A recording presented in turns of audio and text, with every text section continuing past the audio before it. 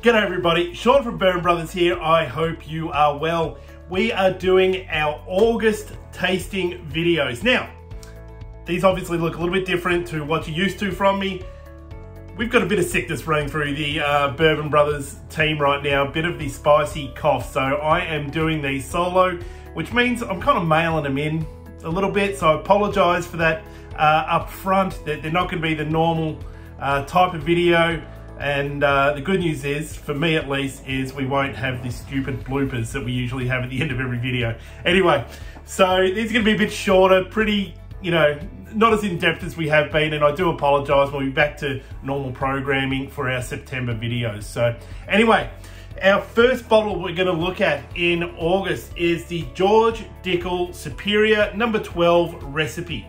So we looked at the George Dickel Distillery in depth in our February box and we'll throw a link uh, to that video down here. So if you'd like to know a lot more about the uh, history of that distillery in depth, we'll link you back to that February uh, video, tasting video that we did.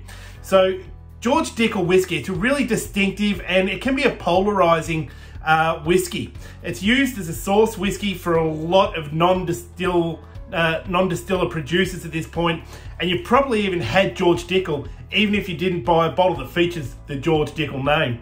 Um, many cite the whiskey as having a strong mineral and uh, fruit vitamin flavour to it, but it really is the whiskey's cherry and overly fruity qualities that really stand out the most for me. So it's an easy drinker and you won't break the bank to get a hold of it. I don't mind it. I actually don't mind Dickel at all. There's always a bottle or two floating around in my home bar. So onto the tasting of it. I'm not going to do a, a live tasting uh, here, but I will tell you with my notes uh, that I have for the, the Dickel 12. So that nose, you'll get those fruity qualities coming through. You'll get that cherry, that apple, that vanilla uh, coming through with a little bit of oak, and it's quite a strong nose uh, there. So you can spend a bit of time, let it breathe, and you can really pick that one apart. On that palate, you'll get a fruit punch. It's just, it's that real fruit, typical Dickel fruit punch in your face uh, that comes through and, and, a good dose of oak uh, with this one as well. And then you get that vanilla and a bit of a buttery mouthfeel to this one. And on the finish, there's dried oak, a little bit of baking spice in there and some cherries and it's a fairly short finish. So um, that's the Dickel 12. Again, apologies for the abbreviated tasting videos and uh, we'll be back to normal programming in September. Anyway, take care of yourself and enjoy the journey. Cheers.